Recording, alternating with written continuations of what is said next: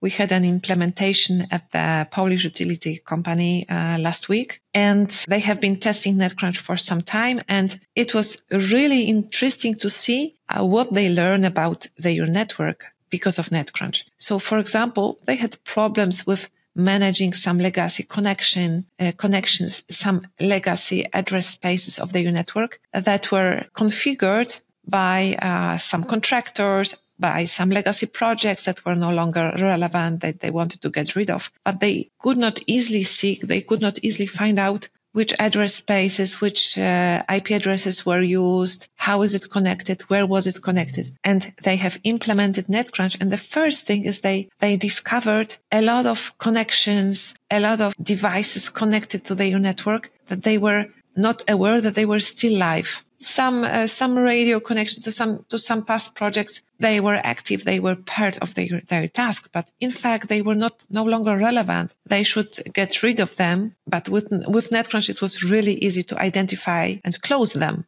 for example, they thought they they only had some 1,500 various connections across the uh, network active, but with NetCrunch they found out there were over 3,000 connections, and half of them were legacy connections, some open ports, some some radio connections uh, that were no longer relevant because devices it was connecting to were switched off but the connection was active. So it's also a security risk. And it was just after one day of, of using NetCrunch, it was only a start, just discovery of the network and creating the maps, creating views, understanding what address spaces you have, what, what, what networks are part of your, of your network atlas. So this is the, the first feedback that we got on uh, right after starting to use NetCrunch.